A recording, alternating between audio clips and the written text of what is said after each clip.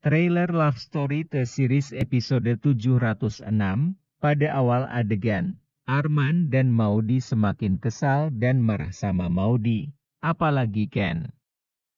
Pasalnya mereka sempat kena bentak oleh Maudi dan Ken, sehingga mereka tidak terima.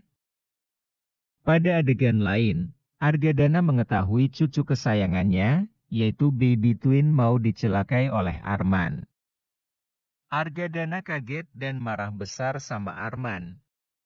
Adegan berikutnya, Bang Atar tak sengaja menabrak pemuda di jalanan, pemuda tersebut marah dan memancing Atar untuk berduel.